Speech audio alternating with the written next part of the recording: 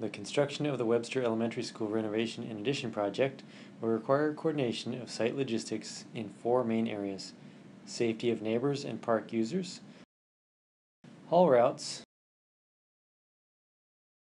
neighborhood relations,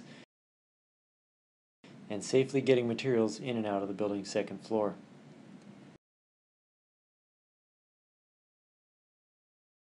In order to ensure the safety of neighbors and park users, Graham will create a hard barrier between the park area and the construction area, as well as a zero visibility site fence around the perimeter of the site.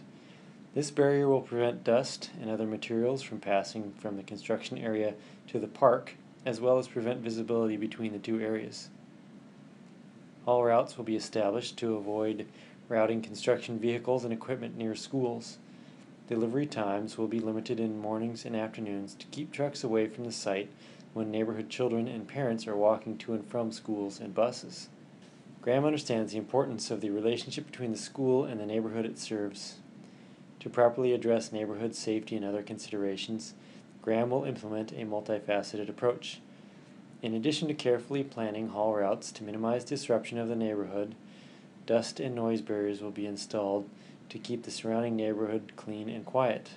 Graham will knock on neighborhood doors, leave door hangers, and hold informational meetings to take a proactive approach and to make sure that the construction superintendent is readily accessible to the surrounding community.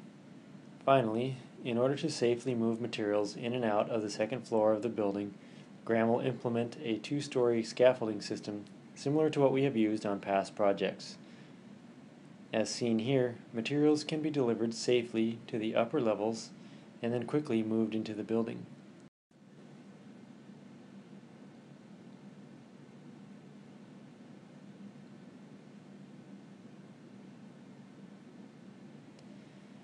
As well, materials can be safely removed from the upper levels and transported to the ground using this method.